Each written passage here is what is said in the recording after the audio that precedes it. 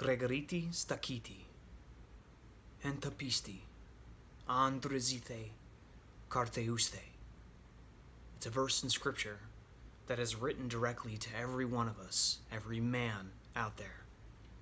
The verse is found in 1 Corinthians 16 13.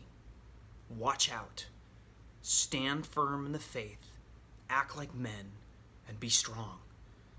It's a direct commandment. Now, some translations will read that last little bit, they'll leave the act like men out and then say, do everything in love. And I believe that those two things are synonymous with that command to us as men. We are to stand firm, to watch out, to do everything that we can within our ministries in love. It's important for us to engage in that fashion, for us to stand up, to be ready, to take the posture of a man who is prepared and ready. I know a lot of you guys, military, uh, played sports. What is the posture of an individual who is ready? What is the posture of a man in the military ready for an offensive or defensive measure? It's a posture of readiness, right? Widened stance, feet back, mind is sharp, eyes are focused. And for a lot of us, we've lost that edge, whether it be a, a out of season time, whether it be something that's kind of tripped us up in our lives, whether it be an addiction to something online we shouldn't be watching, whether it be alcohol, whether it be an extramarital relationship. Some of us feel like we are um, unqualified to lead uh, or that we are unable to. And let me remind you that God doesn't call the qualified, He qualifies the call. And as a man, you're called to lead your family, to lead them well. You're commanded to stand firm, stand up, and be watchful by this verse, 1 Corinthians 16 13. We're going to peel back a little bit of this, and I just want to encourage you guys really today. We're not going to unpack a huge section of scripture or anything like that. We're not going to go verse by verse. I really just want to pour into your hearts today. I want to shake you up a little bit. I want to stir you up a little bit and get you to move forward and refocus with discipline in mind to look ahead at the future, to look at your families, to look at the ministries that are in front of you. I'm not talking about church ministries. I'm not talking about that. I'm talking about your circle of influence in your life right now. When I leave this room and I go into the other room, my family's in there. That's my circle of influence. That's my ministry right there. Now I need to be focused on that first. I need to start in Jerusalem and work my way out. So I got to start here in the heart and go there. Let's pray before we get started. Lord, I ask that you would bless this time. Father, I ask that as we look at some of these verses in Scripture, that you would help us as men be strong and courageous, that we would understand your plan for us in what you're doing. That we wouldn't try to squeeze you into our lives, that we wouldn't take a little bit of Jesus and season our lives with that and call it good. Father, I pray for every man that's listening. I pray that you would breathe that spirit of courage into them, that spirit of power, that spirit of of doing everything and all things as a man in love, to stand firm, to be ready, to be courageous in our marriages, in our relationships, in our own devotional time with you. Father, I pray that you would strengthen us. I pray that you would raise up a generation of men that would stand on the front line, that would be ready to storm the gates, that would push back the gates of hell for the sake of the cross and for you, Lord. Father, we love you and we give this time to you in your name. Amen. 1 Corinthians 16:13. One more time. Gregoriti stakiti, entapisti, andrezithe, carteuste.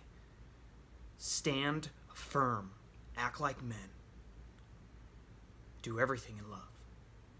Why? Why is that important? Why is it important for us to stand firm? How come I can't just how come I can't take a break and watch the final four? I mean it only happens one time a year, right? Just have a wife lay off a little bit. I'm going to kick back, watch the basketball game. I need a break. I've earned it, right? No, you haven't. As a soldier of Christ, as a follower of Jesus Christ, we are commanded to continually and perpetually always be watching out with the eyes of vigilance. Firstly, for our wives and our future wives. What if you're an unmarried man? What does that mean to you, right? There's an amazing verse. If you go into Song of Solomon, flip with me over there real quick. Song of Solomon, chapter 2, verse 3 on my wedding ring right here when I got married just shy of 10 years ago. My wife put an inscription on the inside of this, and it's a constant reminder of this verse for me. Song of Songs, verse or chapter 2 verse 3. Like the finest apple tree in the orchard is my lover among the young men. I sit in his delightful shade. As a man who's married or a man who's going to be married, it is your job to provide that safety and that security for your wife, for your spouse. Okay, it's your job to to rule your household in love so that she can sit in that shade, so that she can rest in that comfort of you, that you are standing firm, that you are focused, that you're being vigilant and aware of what's going on in the world around us. Secondly, for our kids, I have two beautiful children. Um, I have a little boy who's seven, and my daughter is four, uh, and they're amazing. They're amazing blessings and gifts from God's, from God. Um, they're just incredible, and I tell my wife time and time again, if it wasn't for her and the kids, um, who knows where I would be right now. But we all know as men, if you have children, that your kids will watch what you do and do that before they listen to you. All right, it doesn't matter what we tell them, doesn't matter how we train them, doesn't matter what we say to them, they're going to watch us. And as a man of God, if we are not emulating that, if we're not leading from the front, if we're not situationally aware of what's going on around us, if we're not standing firm in our faith, how can we expect our kids to do that? Proverbs 22 6. We all know the verse, right? Train a child up in the way they should go, and when they're old, they will not depart from it. I know we all have wayward kids. It's all up to us individually to make a decision to follow Jesus Christ. But it is our job as men, men of God, to train our children now so they have the tools and they have the necessary instruments to make whatever godly decisions they can in the future. I've started training my son. He turned seven, um, and I made a deal with my wife when we when we had him that when he turned seven, we'd start training him in jujitsu. We sent him to a jiu-jitsu gym, got him a great instructor. I figured if it was good enough for the Spartans, it's good enough for us. This is our way of sending our son to the Agoge. So three days a week, he goes to a jiu-jitsu gym. I have a reading program set up for my son Monday through Saturday. We cover science, ancient history, cover biblical topics, we cover apologetics, just for 15 minutes every night, nothing intense. But that's how we start our incremental training with our kids we have to start training them in the way that they should go. We have to give them reasons to believe in this God that we worship. So much of the culture has turned it into a fairy tale. People don't come back from the dead, right? You can't heal somebody by touching them. Well, Jesus did that. We have to make that 18 inch gap from the heart to the head. We have to make it logical. We have to make it make sense to them. We have to explain it. We got to give them an opportunity to open up and ask questions. That's your second reason why it's important for us to be standing firm, to be ready, to act like men, do everything in love, and be ready to roll forward. And lastly, for yourself.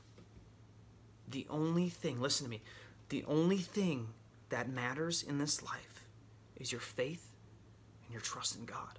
That is it. It doesn't matter if you're going to retire.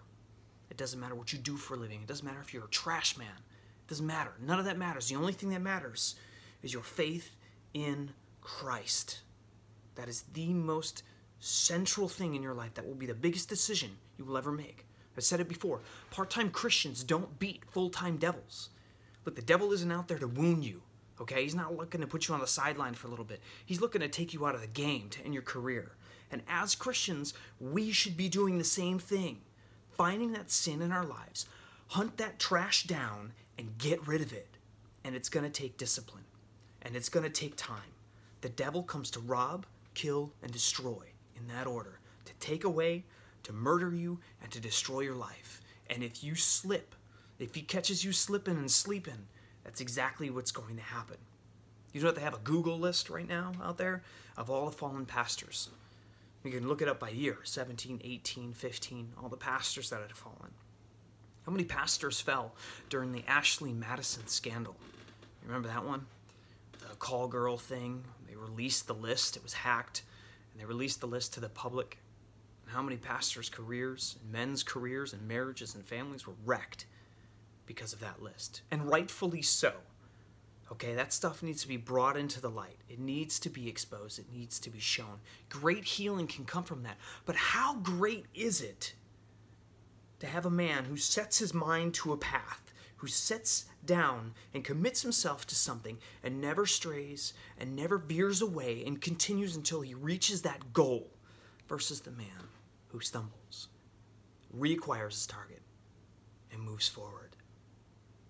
Listen, gentlemen. There's so much at stake here. I want you to stand firm for the glory of the Lord and for the hope of the nations. Stay the course.